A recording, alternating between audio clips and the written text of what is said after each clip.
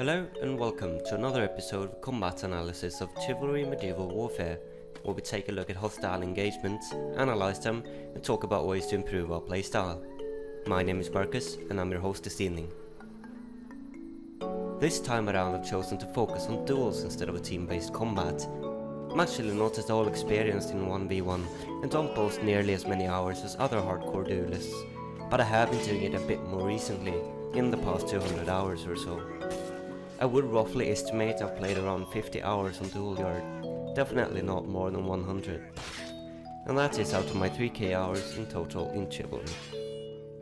Before we begin also take note that all the duels were played on either comp mod or mercs.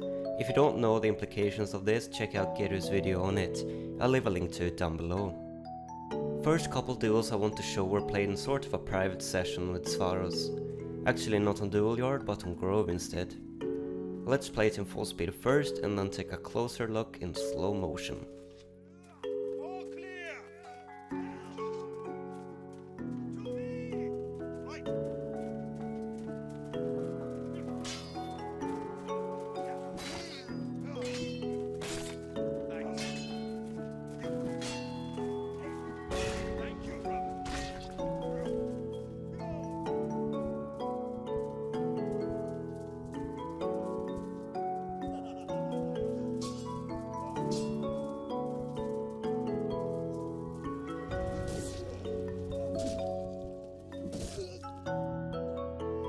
Definitely got a bit scary for me halfway through, but I still managed to come out on top. He starts off with a pretty simple overhead and I go straight for a feint. Now when I do this, I usually try to turn into the strike a little so as to decrease the distance that my weapon has to travel before impact. It just makes the feint slightly more intimidating and likely to succeed. He tries to duck my subsequent slash, unsuccessfully, but ends up parrying my reverse overhead. Afterwards I can't quite turn back around fast enough to see his riposte coming.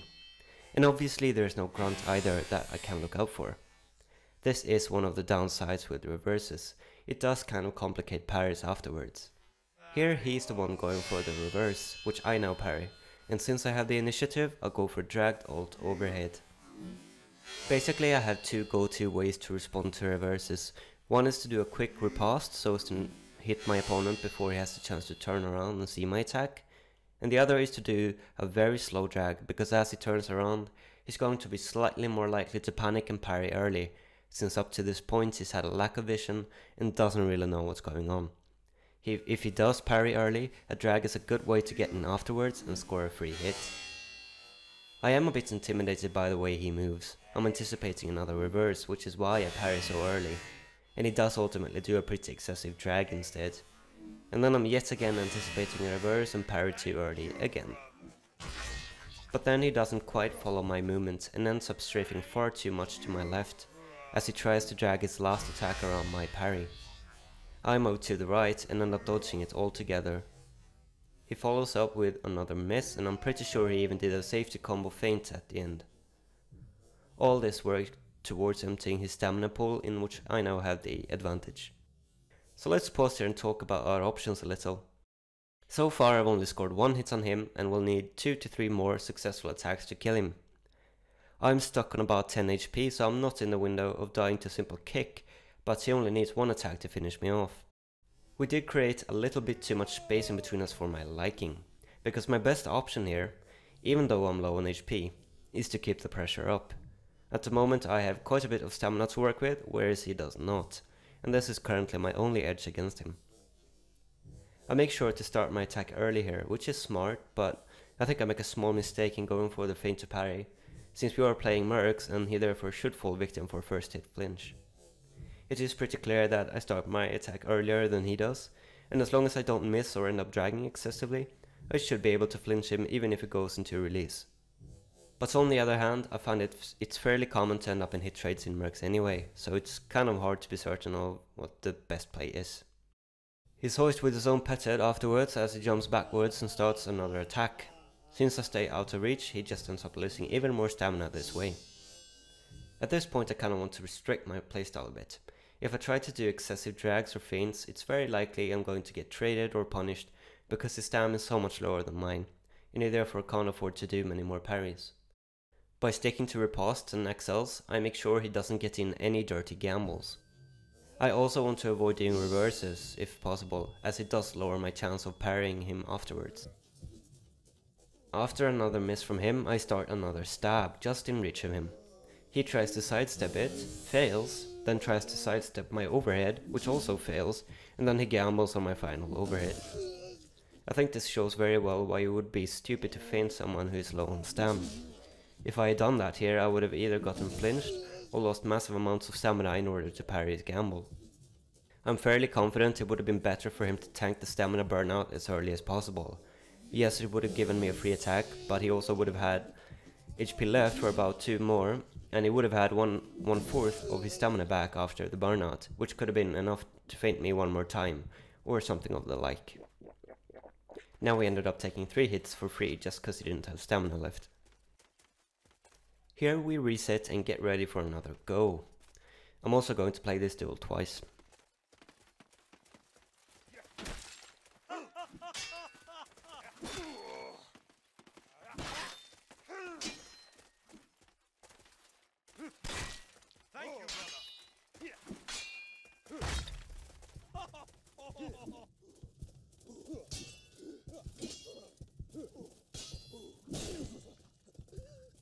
Alright, another win for me.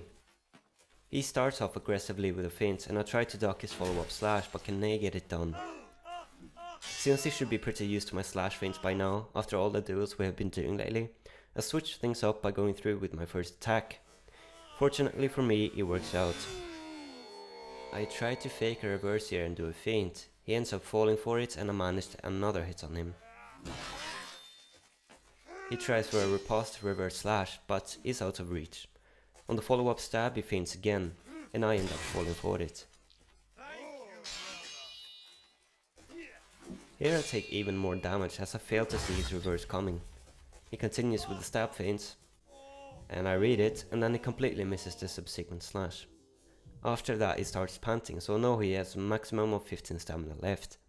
In this particular matchup, longsword versus longsword, I am guaranteed a successful burnout with two hits, if at least one of them is an overhead. It can be done with other types as well, but there's no reason not to throw an overhead in there. He starts swinging again before I wind up, and I'm forced to feint to parry. But it's not the end of the world for me, since I have a lot of stamina to work with.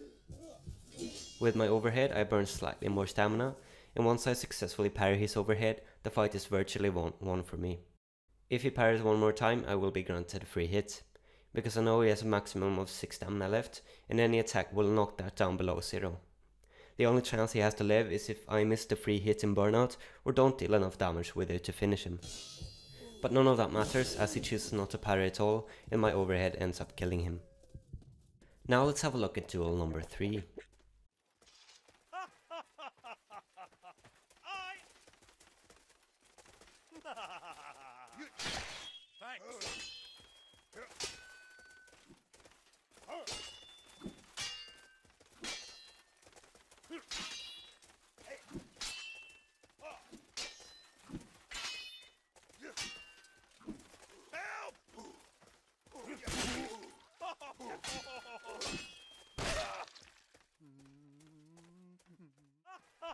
I start off nicely by dodging backwards as soon as he starts winding up. But when we both start attacking simultaneously, he maintains a better composure. I parry in response to his first attack, he sees that opening and scores a free hit. Here I should have capitalized on his miss. It was pretty easy to see the potential for it early on, I was just being way too scared.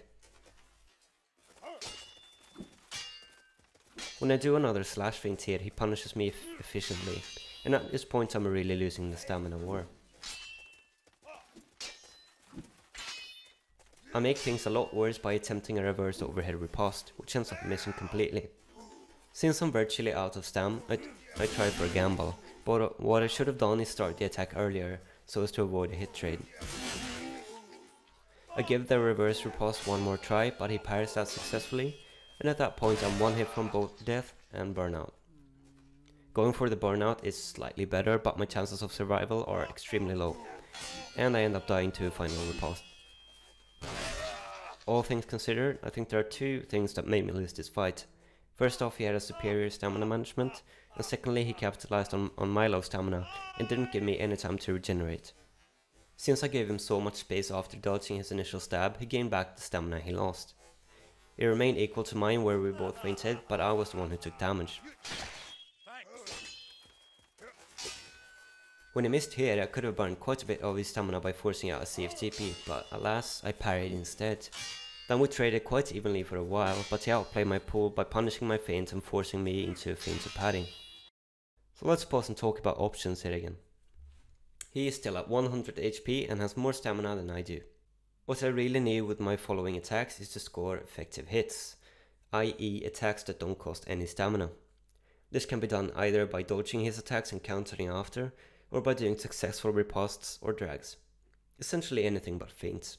Simply throwing attacks back and forth will eventually end with me in burnout. So what I try to do is a fake reverse that I turn into a drag, but much to my demise he parries successfully and puts me one step closer to Mortem. After that I make another attempt to bypass his parry, but slowing down my overhead riposte. Yet again he reads me like a book and parries successfully. The nail in my coffin is my attempted overhead riposte, which ends up missing horribly and puts my stamina close to zero. I make an attempt to run away and regenerate stamina, but he stays hot on my heels and manages to secure the kill. Overall a nice systematic outplay by Svaros. I'm going to show one more duel from this session and then move on to fights with a, uh, with a couple other opponents.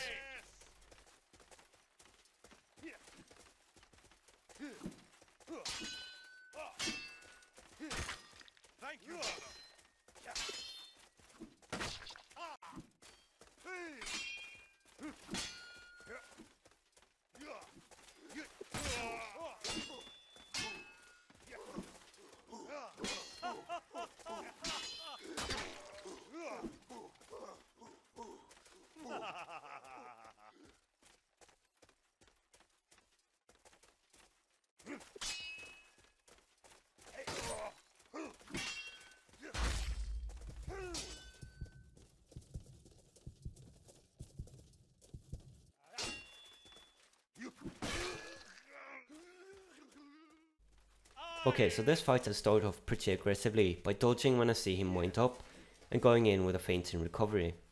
Typically people always fall for these kind of feints unless they're trying to gamble mindlessly. In order to dodge my attack he ducks and this forces me into a CFTP which greatly reduces my stamina. Here he does a delayed overhead riposte which manages to bypass my parry. But he goes on to miss several attacks, partly because I run back to dodge one of them, and for this his stamina suffers. Here I try to drag my slash, but he anticipates this and runs further away from it, ultimately dodging it altogether. This results in us both being fairly low on stamina, and with another missed overhead it is for me reduced to zero. This means that we're both pretty happy just falling back to regen. I start with a feint but choose to follow through on the second hit even though he does not fall for the first. You could make a case for keeping on feinting until he falls for it, but if you do this repeatedly you will become much more predictable and eventually your opponent will learn to punish every time you start feinting, since he knows you will not attack until he parries. I fall for yet another of his reverses, I'm actually really bad at seeing them coming. After that I'm expecting him to feint me again, which is why I play overly defensive and start circling even though he's not winding up. Eventually we start slashing at the same time and I go for a feint to parry. The fight ends when he falls for another slash feint. If he had managed to read this, I would have been very likely to lose the duel, but luckily for me, he did not. And on that note, let's move on to a different session played on Duel Yard. This also on Mercs or comp modes, I can't remember which. This particular duel I'm up against a guy called Yugin Shikimoni. No idea who this is really, but I'm pretty terrible at duelists profiles in general, so going forward, please forgive my ignorance.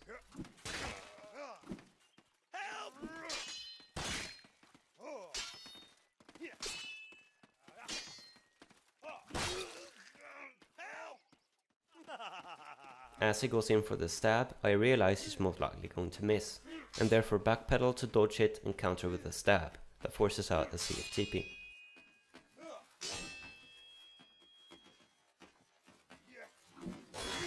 I try to follow up my free hits with a reverse slash, but don't turn around enough and ultimately end up doing a drag instead.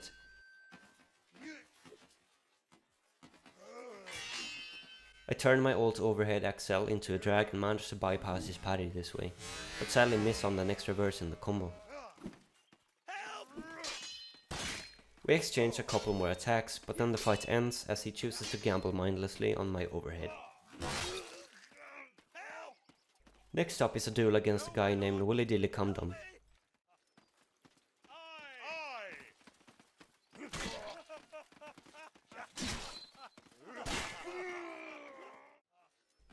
This duel ends quickly as he didn't follow my plays at all. I start off with a successful reverse slash and maintain a high tempo by feinting on the follow up overhead. On the final attack is most likely expecting an excessive drag, as it doesn't parry in time before my reverse hits him. Take note that I did not use any stabs in this duel, and this did contribute to shortening it. Slashes and overheads with the longsword do equal damage to knights and mercs, another difference from vanilla.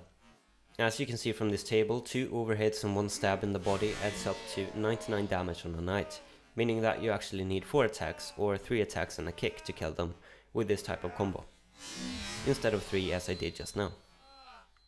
This is of course assuming that all attacks land on the torso, which obviously isn't the case in every fight, and there are other possibilities as well. But a good rule of thumb is to always use the higher damage attack type after a feint, when you know it's going to land and don't need to consider drag and accelerability. As I don't lose any HP, this duel transitions seamlessly into the next, this time against Dan the Man. Again, I'm not sure if this is his real name, but I have seen him a number of times in the yard under, under it, so maybe.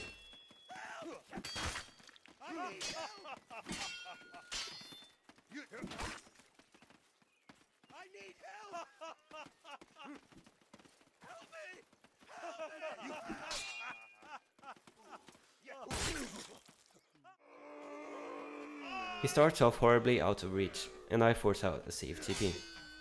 After his riposte I try for a feint, but he gambles and manages to flinch me on the second windup. I then overdrag my overhead and end up missing altogether. He goes for another senseless gamble, and this time he is rightly punished. Here he does yet another gamble, which sadly ends up working out as I miss my own attack. On the fourth gamble it backfires again and I score yet another free hit on him. We both back off, feeling the need to regenerate stamina. As soon as he runs in and winds up, I run further back. This is a great way to outplay your opponent's stamina and also ensures that you don't fall for any more feints than necessary. If you're out of reach, there's no need to parry. Sadly I am a bit too scared and wait so long during his slash that I don't feel comfortable falling through with my stab that was meant to flinch him and wind up on the next attack. This was the plan from the moment I started dodging his initial jump stab, but I just completely choked. If I had landed the flinch, I could have easily maintained my combo and killed him on his fifth gamble or so. Instead I end up falling for a final slash feint and die to a stab. Now let's have a look at my second duel against Hugin Higmoni.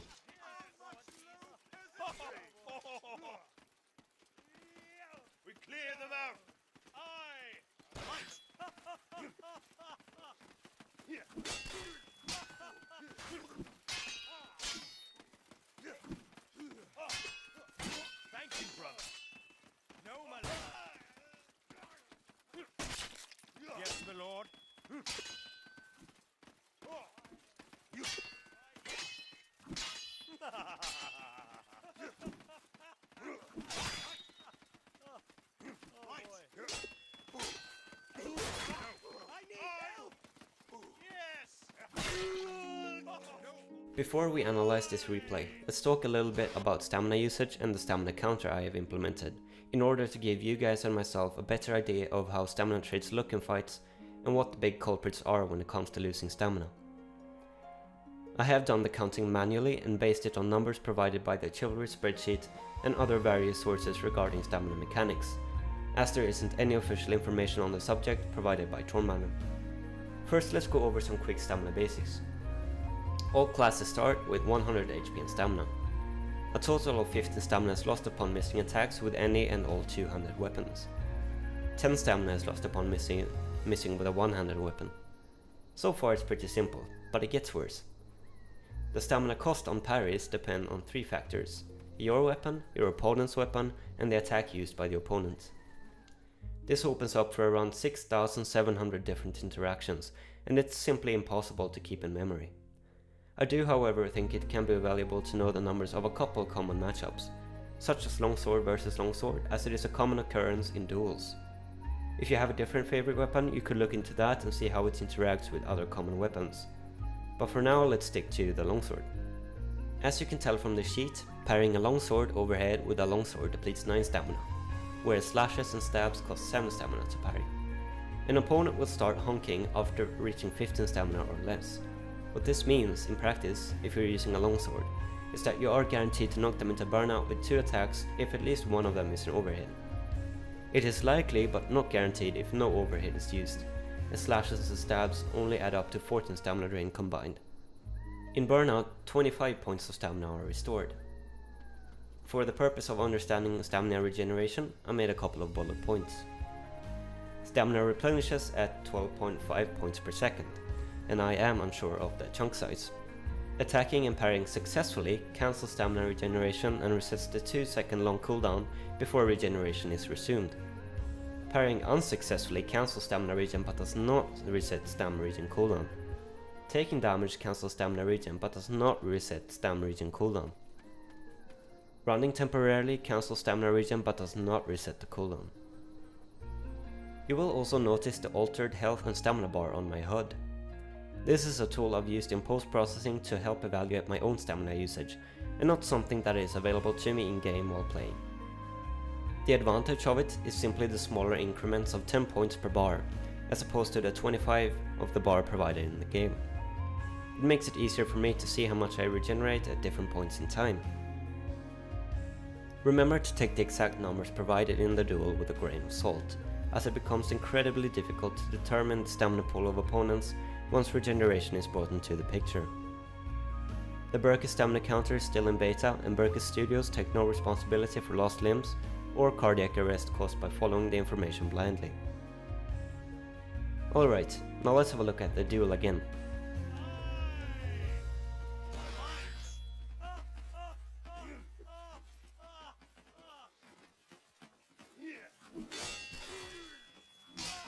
Here I'm trying to do a reverse slash but I end up dragging it instead as don't turn far enough at the start. He goes straight for a reverse riposte, and as you can see he falls victim for the lack of vision and parries too early as to drag my counterattack. He does however keep up a good footwork which I fail to adapt to, and therefore I miss my otherwise free hit. He forces me into a CFTP, and despite losing the stamina war up till this point, he now has a 24 point advantage. Because of this I want to find a way to outplay his stamina, and one of the best ways is to utilize good footwork. I start running back as soon as I get the chance, and keep an eye on him as best I can. As soon as he's about to get inside attack range, I want to start running again. So if by chance he winds up, I can dodge the attack and force out a CFTP, and thereby revert the stamina disadvantage. Here I get a bit too greedy and avoid parrying even though he's close enough for contact. I have, however, gained back some of the stamina I've lost. After my stab he chases to try for another reverse slash, but he moves uh, far too much forward as I in turn backpedal in the other direction. I further uh, use this to my advantage by backing off again, as he continues his combo. He follows up the second miss with an attack to parry, and at this point I have turned the tables, as he now has a 7, seven point of stamina disadvantage. While I was playing, I was fairly confident he combo feinted to parry in response to my stab, but after looking at the stamina numbers and following the, the events afterwards, I can see no other explanation that it was in fact an attack to parry. We continue to trade quite evenly on stamina until I miss again, and after landing my successful overhead, I again feel the need to buff up my stamina a little. So as he starts swinging again, I immediately start running backwards. Here I actually managed to force out a CFTP, and because of this his stamina is put extremely low, below the 15 point threshold. I managed to score another successful reverse slash, putting him just one more hit from dying. I end up going for a feint here and I'm actually not a big fan of it. I think it's always better and safer to follow through with attacks when the opponent is low on stamina, as they are far more likely to gamble in these situations. Luckily for me he ended up falling for the feints and I finished him off afterwards, but I could have actually lost the duel if he had chosen to gamble instead. I'm not going to implement the stamina counter in any other fights in this episode as tracking takes a tremendous amount of time, but I think there's a lot to take away from just one example anyway. For instance, it becomes very clear that the biggest stamina drain by far is CFTP and missed attacks, whereas parries are a lot less costly. Therefore, making sure that you're always in range when you attack is a great way to improve your performance in the game. And offensively, it's very effective to dodge attacks by running out of reach when possible, as I demonstrated several times in this duel. Now let's move seamlessly into the next duel, against Dan. Yes, my lord. To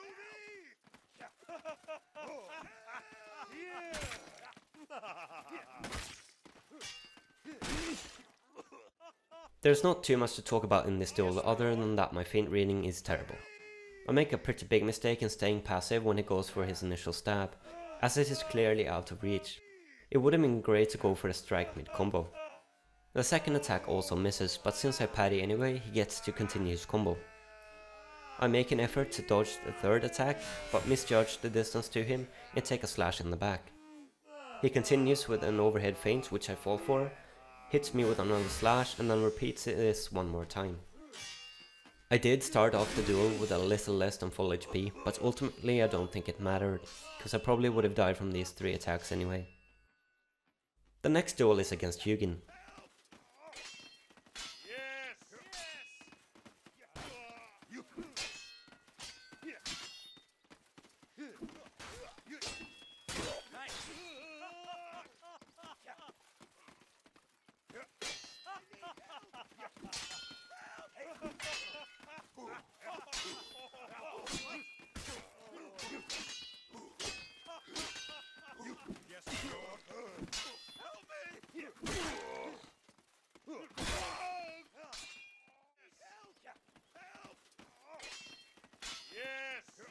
I'm off to a pretty great start as he swings out of reach, Now I force out a CFTP. This already puts him at a 37 stamina disadvantage. Now it is his turn to force me into a CFTP, and my stamina falls far as I initiated with a feint as well. My riposte however is successful and I score first blood. Here I quickly regain ground in the stamina department as he misses another attack while I regenerate. It is not made better for him with the subsequent micro feint. After parrying one more attack you can hear that he is close to burnout, at 15 stamina or less. I throw out an overhead, as one should in order to drain the most stamina. I am a bit confused as to how he managed to parry twice here anyway. Somehow he must have gotten a little bit of stamina back, as one stab and overhead should secure it. Either way, on the third hit he finally gets knocked out and I choose the overhead on my free attack since it deals the most damage on the longsword. Actually the slash has equal damage values in mercs, but if you're playing vanilla the overhead is the strongest. I follow up with a feinted reverse and finish him off with a final strike. It did take me 4 hits to kill him despite only using overheads, and the reason for this is that the second successful hit made contact with his foot. And therefore the first 3 attacks only added up to 95 damage. Practicing a better aim is definitely a good way to become a better player, as you can finish off opponents quicker and give them less room to counterplay. Now let's have a look at another duel with Willy.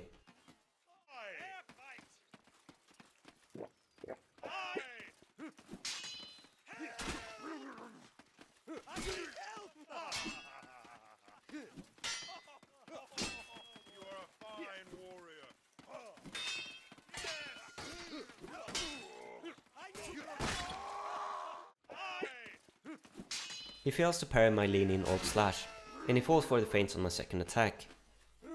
After landing two slashes, an overhead is quite a natural follow-up, as three attacks of this kind is just enough to finish off a knight.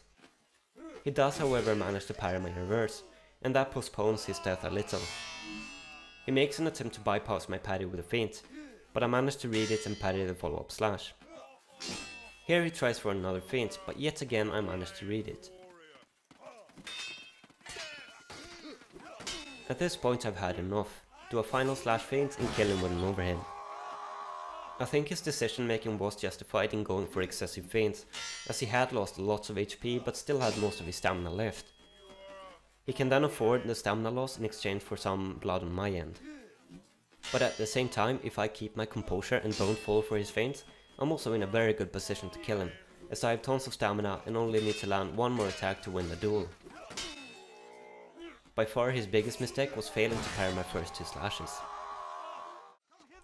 Let's move on to another duel with the Dan. Yes, my lord. Right. yes.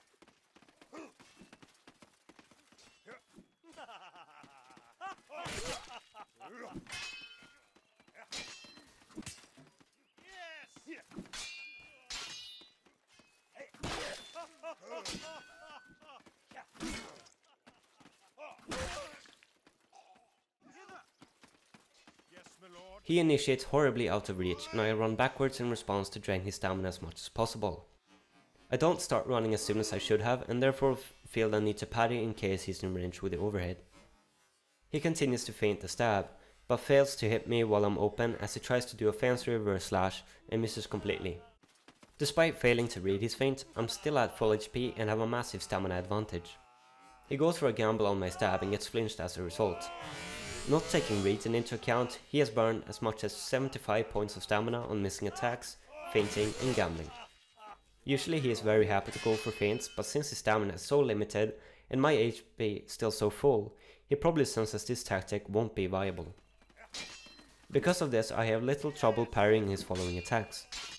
He falls for a slash feint, which puts his HP even lower, and when he parries my reverse, he tries for a reverse riposte, which also depletes his stamina. I score an easy hit mid combo that flinches him, and finish him off with one final feint into overhead. I didn't need to read a single feint to win this duel, simply because he made an awful job of managing his stamina. I think this demonstrates quite well why feints are fairly balanced, even though they're very difficult to read. You can't abuse them without ironing out your footwork and stamina management beforehand, and that takes a lot of practice.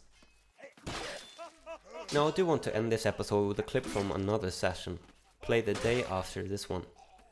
To give a little backstory, I had been getting my ass whooped continuously by Robocop and finally won a duel against him, and that is what I wanted to show.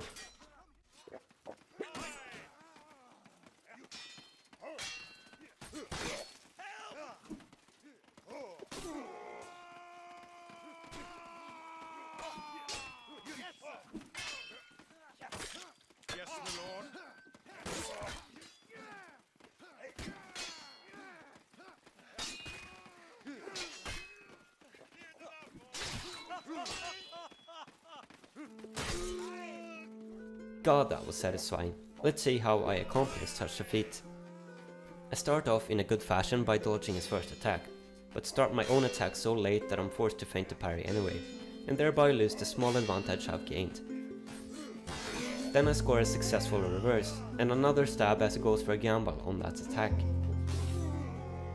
I'm anticipating a feint or at least an attack of some kind, so I start running backwards, and he ends up missing again.